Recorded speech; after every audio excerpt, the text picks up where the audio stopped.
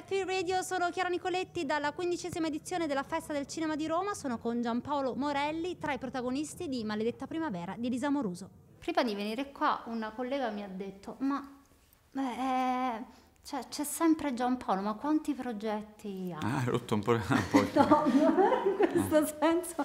Però in questo caso specifico Elisa Moruso ti ha affidato un personaggio che pur essendoci poco, ha il dovere di, uh, di, di, farci capire il background della crescita, potenziale crescita della, della protagonista, e da dove viene e dove potrebbe stare andando. Quindi è una grande responsabilità, non so se l'hai percepita così.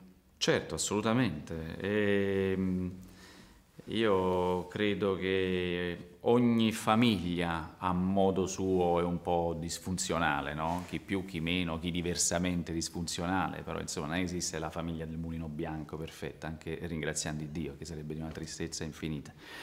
E, ed è chiaro che i, i genitori sono, sono fondamentali nell'educazione nella crescita eh, di un individuo e, e ritengo che l'adolescenza anzi sia il momento, la preadolescenza e l'adolescenza siano i momenti più delicati dell'esistenza, sono i momenti in cui si gioca la partita e, e si vede tu chi sarai, chi diventerai più o meno, poi magari delle cose le puoi aggiustare, però il grosso di quello che sarai avviene lì.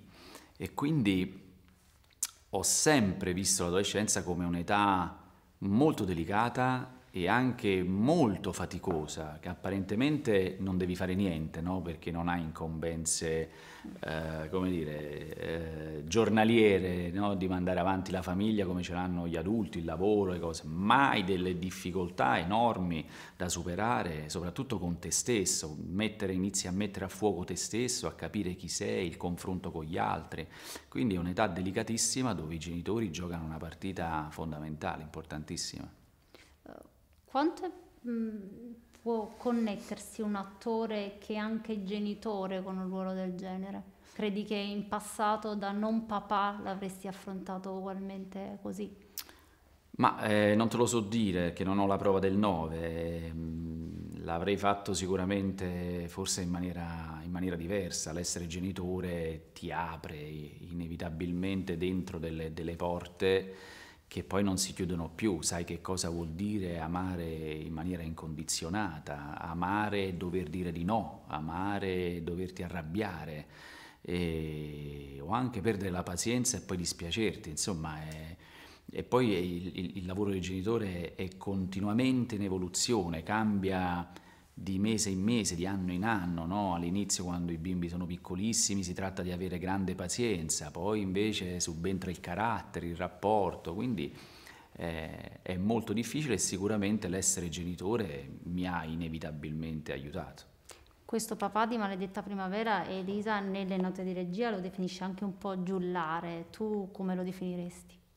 È sicuramente giullare, è disordinato, è ha un suo lato oscuro, no? come, come, tutti noi, eh, a tratti inafferrabile, ha bisogno di, della sua libertà, dei suoi spazi, eh, anche delle sue manie, del suo dover comprare, vendere, fare l'affare, eh, ma non per questo è un uomo che non sa amare, eh, lo vedo un uomo eh, molto tenero, molto dolce, anche fragile e pieno d'amore, pieno d'amore per la sua famiglia, per i suoi figli e per sua moglie. Ed io ringrazio Giampaolo Morelli, tra i protagonisti di Maledetta Primavera di Elisa Moruso alla Festa del Cinema di Roma ed io sono Chiara Nicoletti per Fred, The Festival Insider.